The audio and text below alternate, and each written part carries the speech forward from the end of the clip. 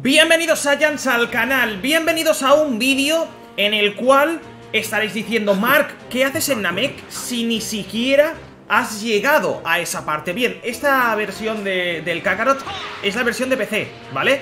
Eh, quiero deciros antes de empezar el vídeo que estamos jugando actualmente, ahora mismo, en Twitch a Dragon Ball Z Kakarot en la versión de PC y estamos en Namek. Si quieres saber más, puedes eh, seguir el directo que está en la primera línea de la descripción de este vídeo y ahí me puedes realizar tus preguntas, compañero. Actualmente, ahora mismo, estamos en Namek y estamos en Twitch. Puedes entrar y seguirme. Además, si llegamos a cierto número de seguidores, prometo sortear un Kakarot. Bien, chicos, vamos a la información del vídeo de hoy. No va a ser muy, muy largo y me gustaría hablar sobre la nueva actualización.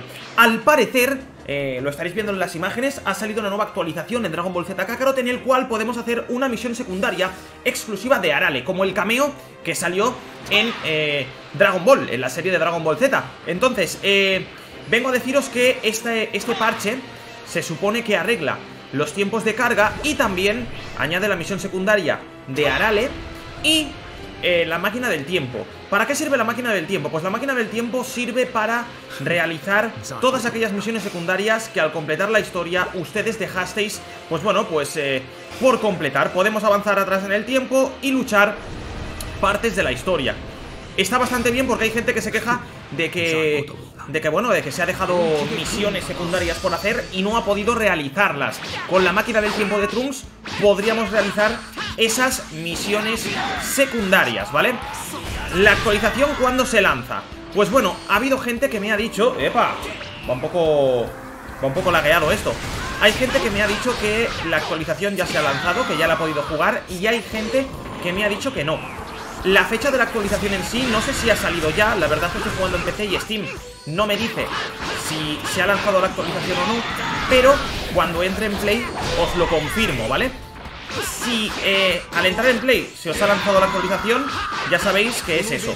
Eh, la máquina del tiempo, la misión secundaria de Arale y reducir los tiempos de carga en el Dragon Ball Z Kakarot. Como digo, la misión es completamente gratuita y la podéis, eh, la actualización, la podéis disfrutar. No hace falta comprar ningún DLC ni comprar nada acerca del Dragon Ball Z Kakarot. Chicos, os seguiré informando sobre cualquier cosa, pero quería informaros sobre, pues bueno, pues eh, esta misión que parece que, que han añadido, este DLC que parece que han...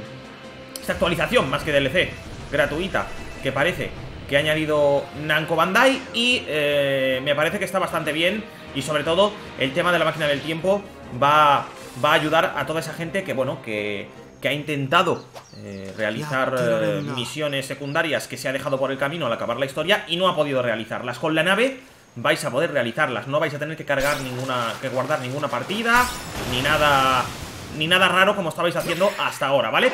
Chicos, podéis darle un buen like a este vídeo, suscribiros al canal si no lo estáis, y recordad que estamos en Twitch ahora mismo, está en la primera línea de descripción. Podéis entrar a jugar al Kakarot eh, eh, conmigo y a ver eh, en directo.